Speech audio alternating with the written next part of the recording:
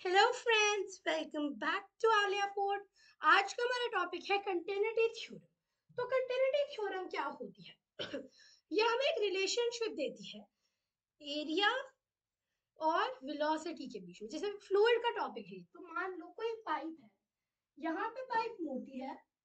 यहाँ आके पाइप पतली हो गई। ठीक है? यहाँ पे मान लो पाइप का एरिया है ए यहाँ आके एरिया कंसिडरेबली कम हो गया टू और इस पाइप में कोई भी लिक्विड भरा हुआ है, ठीक है? I am not saying water कोई भी लिक्विड भरा हुआ है।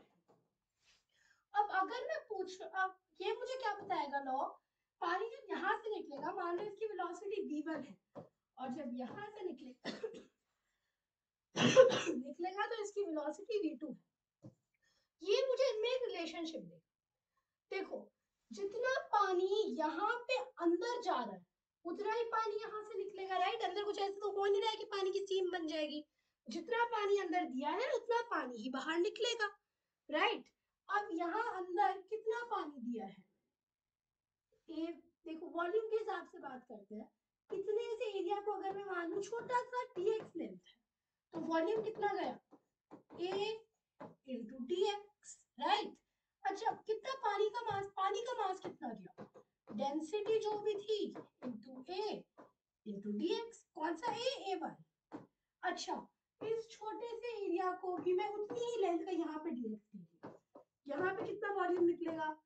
A two into D X देखो ना, हमें पता है, कोई भी अगर ऐसे बना हुआ है हमारा फिगर इसका एरिया ए है और ये लेंथ एक्स है। तो इसका वॉल्यूम कितना होगा? A X volume is the area into height अगर आपको पता नहीं था तो ये याद कर लो। तो कित, अच्छा मास कितना होगा? देखो जो चीज़ यहाँ पे चली अगर यहाँ पानी डाला है तो यहाँ से अगर यहाँ पानी डाला है तो यहाँ भी पानी ही निकलेगा। जितनी डेंसिटी रो यहाँ थी उतनी डेंसिटी रो यहाँ होगी। इनटू वॉल्यूम कितना? ए टू डी एक्स यहाँ कितनी वेलोसिटी से जा रहा है? V1 यहाँ कितनी वेलोसिटी से जा रहा है? V2 अब हमें पता है law of conservation of momentum क्या कहता है? Initial momentum is equal to final momentum. अब यहाँ पे मोमेंटम कितना है? Mass rho A one D X into velocity और यहाँ पे मोमेंटम कितना है? Mass rho into D X into velocity rho rho cut जाएगा, D X D X cut जाएगा। मतलब A one V one equal to A two V two.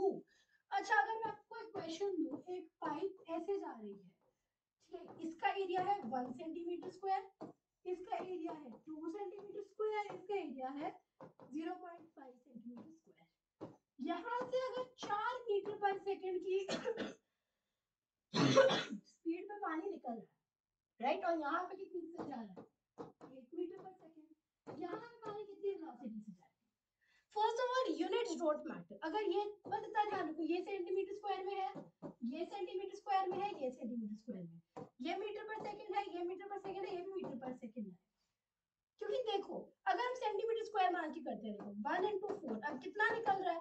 Two into one plus zero point five into V तो zero point five into V equal to two और V equal to four metre per second अब अगर मैं यही conversion करती, पहले centimetre square को metre square में करती तो one by ten to the power four into four is equal to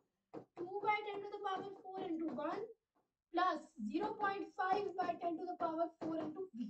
ये 10 टू द पावर 4 तो वैसे ही कट जाना था तो फिर कन्वर्जन भी क्यों करनी? अननेसेसरी कॉम्प्लिकेट हो रहा है। कितनी वेलोसिटी आई यहाँ? 4 metre per second unit don't matter a1 v1 equal to a2 v2 जो भी है, ठीक है? अच्छा मतलब जो मेरा एरिया है, वो कांस्टेंट है। मतलब मेरा जो एरिया है that is inversely proportional to velocity या फिर अगर हमें थोड़े और लॉजिकल सेंस में बात करनी हो तो velocity is inversely proportional to area पतले पाइप से ज़्यादा वेलोसिटी का पानी निकलेगा, मोटे पाइप से निकलते हुए पानी की वेलोसिटी रिलेटिवली कम होगी राइट तो आई होप कंटिन्यूटी थ्योरम का कांसेप्ट क्लियर है। एक तरीके से यही बताता है AV is constant velocity is inversely proportional to area ठीक है? तो आई होप ये कांसेप्ट क्लियर है। That was all for today's video Goodbye. Thanks for watching.